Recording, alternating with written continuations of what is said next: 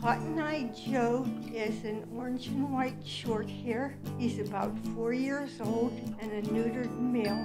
He tested negative for feline leukemia and up to date in all his shots.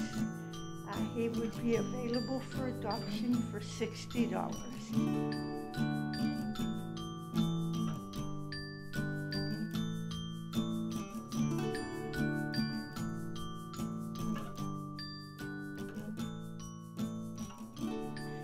Scott is a border collie boxer mix.